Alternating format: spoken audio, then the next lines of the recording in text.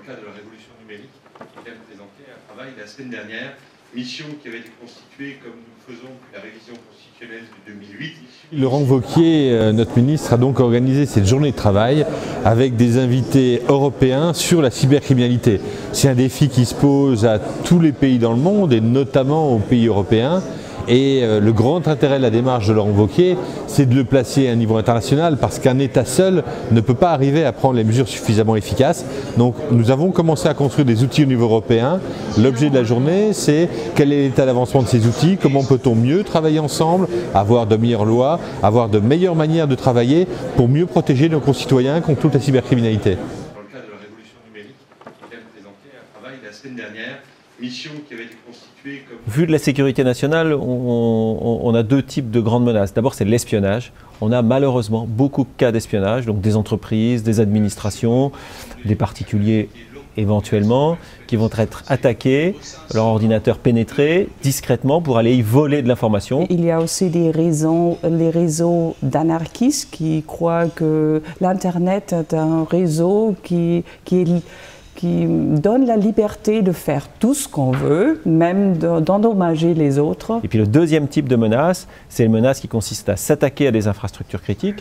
Donc nos sociétés aujourd'hui, elles dépendent de l'informatique pour vivre. Tous nos processus vitaux autour de l'énergie, de la distribution d'eau, de- du monde médical dépendent de l'informatique. Il y a aussi la, euh, la criminalité de en ce qui concerne euh, les finances, qui est très dangereux. Alors il y a beaucoup de, on pourrait dire, de criminels qui ont l'intention d'endommager nos États dans de différentes euh, euh, matières. Des attaques, des incidents sur ces infrastructures pourraient avoir des conséquences graves sur la société et donc il est indispensable de s'en protéger.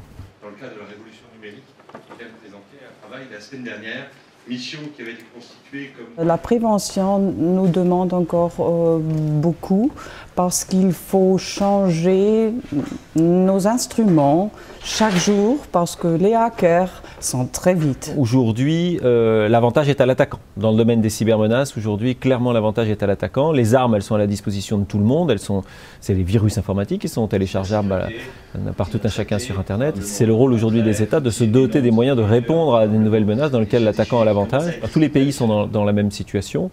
La bataille n'est pas perdue.